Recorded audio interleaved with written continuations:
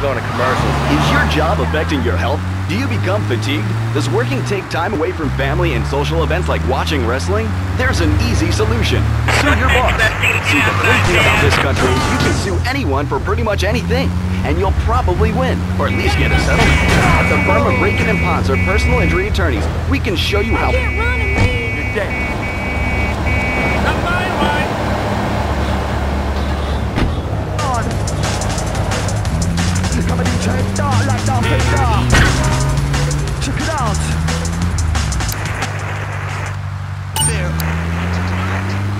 That's why they pay for insurance. Call the law offices of Rakin and Ponzer and get ready to enjoy a life of luxury. All right, we're back on Chatterbox. Let's uh, go to the chatter line here. Hello, caller. You're on Chatterbox. Lazlow, I just wanted to make your viewers aware that. Okay, now this is a radio show. We don't have viewers. We have listeners. Uh, okay. Anyway, Lazlow, I just wanted to make your viewers aware the first International Puppetry Festival is next month at the fairgrounds, bro.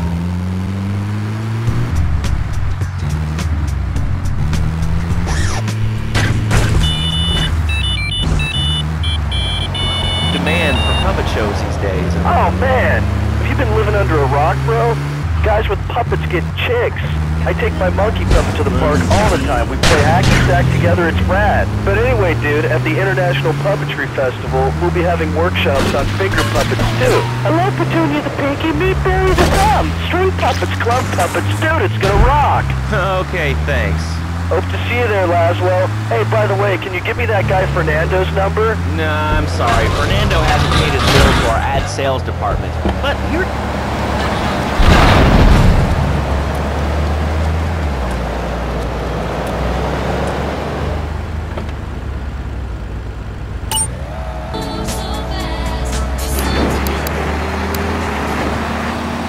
Hassle on a windswept moor? Do you long to trade in your sweatsuit for a hundred-pound suit of armor and swap your SUV for a noble stallion? Do you eat microwave dinners? All the while... Damn police.